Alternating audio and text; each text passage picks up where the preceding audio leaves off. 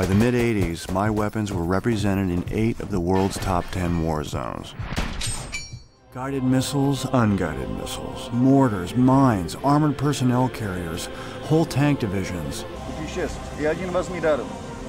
Hello everybody，欢迎收看刘油果说故事。今天和大家聊聊小伙子如何卖军火发家致富的故事。战争之王，曾是街头小人物的尤里啊，和弟弟惆怅过、迷茫过，是军火生意带给了他光明。没想到因为这些要命的东西，竟然让他们名声大振。全世界的角落每打出去一发子弹时，他的兜里就会多一份收入。一个常人是如何把军火生意做大的呢？就要从他十岁伴随家人来到美国说起。为了生活上的便利，移民到这儿的尤里家人每天都把把自己装成犹太人去教堂接近上帝，特别是他爹，所有带壳的都不吃，完全遵从犹太教的教义，就连名字呢也都必须带个“犹”字。他们生活在美国的小奥德萨这个小镇呢，是当时移民的小天堂，确切的说呢是黑帮的天堂，每天帮派枪战不断，一言不合那就打打打打。正因为遭遇了一次帮派枪战呢，他看到了商机，就去卖军火了。接着呀，就搞到了第一把武器，卖给了帮派。这单生意简直就像是人生的第一次啊！害怕，紧张，时间。短，不过呀，却充满了快感。随后，他邀请弟弟呢一起干大事儿，要让世界每一场战争都有有理卖的武器参与。很快，军火展会开始了，吃这口饭的人都汇聚于此。兄弟二人呢，更是有目的的而来，打算认识一下世界知名军火大亨怀斯先生。想不到老家伙瞧不上毛头小子呀，根本就没鸟他们。没有人带路啊，梦想停滞不前了。结果机缘就在黎巴嫩开始了。由于米国撤军，武器滞留，这玩意儿带回去的运费比买新的还贵呢，所以。扔在没有战争的地方，他就和废铜烂铁一个价。上门买军火的呢，都是按公斤算价钱。结果这单买卖呀，他看见了这批军火都用在了哪些人的身上。不过这对于尤里来说呢，丝毫没有影响。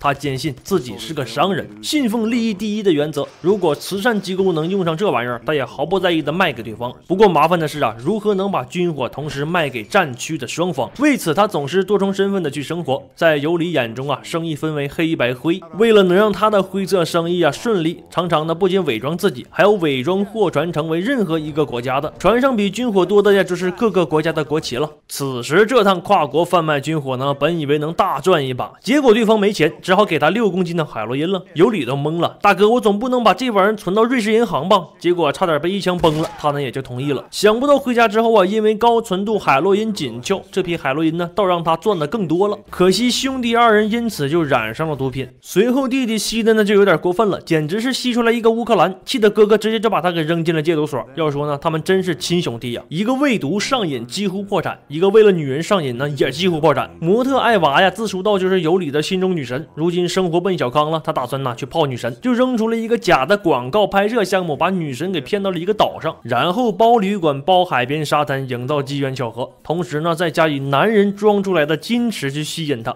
为了一鼓作气拿下这个女人，他租豪车、租飞机的展现个人实力。为了把土豪形象装的彻底呢，他就破产了。不过幸好啊，把艾娃骗到手，成功走向了婚姻的殿堂。出了戒毒所的弟弟看到哥哥娶了名人之后啊，高兴的把嫂子亲了个遍。婚后随之而来的问题是，媳妇的开支很高，尤里的信用卡每次都会透支啊。军火生意冷淡，没了收入，不知如何是好。幸亏传来消息，冷战结束了，备战武器没有了用武之地，苏联军人薪水都发放不出来了，只能卖掉军火库中的四万支武器，导弹、非导弹、运输车，就连坦克这都是买六赠。一的打包卖给他了。更讽刺的是，战机的火炮手都被他给买去了。也因为这次他的大动静啊，就惊到了军火大亨怀斯。怀斯老谋深算，站队做生意呢，总是和政治沾边。不过尤里可不管你是左翼、右翼还是中间的，他把军火卖给所有人，引发秩序混乱，从中牟利。他要的只是利润，不管你是哪个国家。此后啊，就连战斗直升机尤里都开始贩卖了。他只要提供军火，战争就会打响；停止供应，战争就会停息。此时尤里俨然已经成了战争的总指挥。不过呢，他他就是希望战。争能持续下去，每打出去一颗子弹，他的腰包都会鼓起来一块。常年贩卖军火呀，他是有罪的，可总是让美国国防警察无可奈何。明明战斗机禁止贩卖，可他偏偏利用国际条约的漏洞啊，把弹药和飞机拆开分批次运送。即使被抓，竟然也没有办法将他定罪。欲望膨胀的尤里此时就盯上了非洲市场，这里军火自由贩卖，政府混乱，多国介入，就连小孩都吃香满地跑，非常适合他的职业。耐用的 AK 四七呢，成了这里的宠儿。一把马格南征征服了西非割据一方的总统。生意谈成之后，总统的傻儿子就把他送到了豪华的两星级酒店，还给了他一个特别的见面礼。深知当地平均四人就有一个艾滋患者的尤里，大骂总统不是人。靓妹摆在眼前，却苦于方圆百公里内没有售卖安全帽的。忍过难熬的夜晚，第二天呢，他收获了一把的钻石，因为这位大军阀能支付给他的只有木塞和钻石啊！堂堂的战争之王，总不能拉一堆木塞回去吧？混到了二十世纪末左右啊，尤里的财富已经比他当年吹牛逼时说的还多了，甚至呢可以购买值老鼻子钱的藏品放家里看了。财富积累到了一定的程度，弟弟劝他收手，可是如今尤里早已痴迷于此，根本停不下来。接下来他亲自压阵运送军火给西非的总统，可是此时啊，他的名号是圈里圈外人尽皆知，总有看他不爽的偷摸举报的呀。国际警察也就一直跟踪着调查，终于在天上把他盯上，让他迫降了。飞机里面的军火呀，足以让他坐穿牢底。可能尤里是压力越大，灵感就越多吧。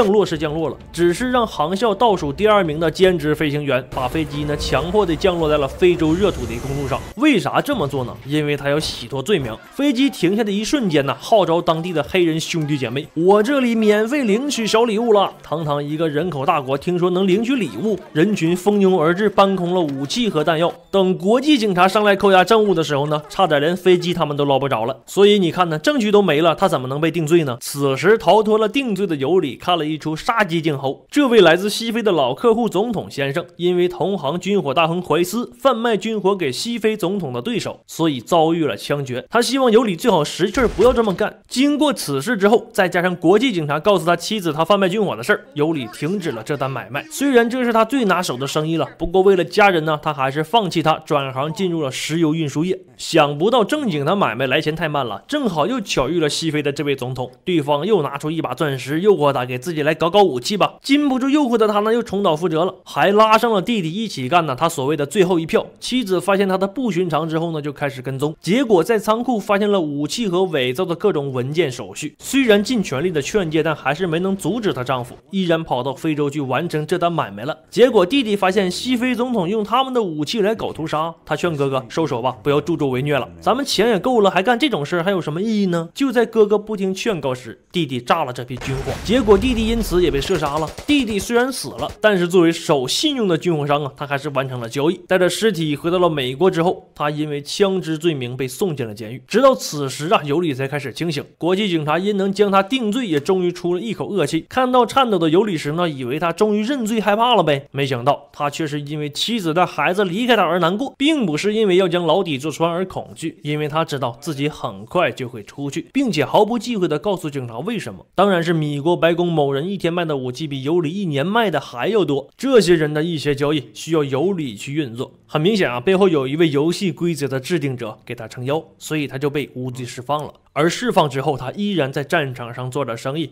世界本就糟蹋，邪恶必然存在，我们都是被支配的傀儡。好了，今天的影片我们就聊到这里。喜欢影片记得订阅我，下期我们再见。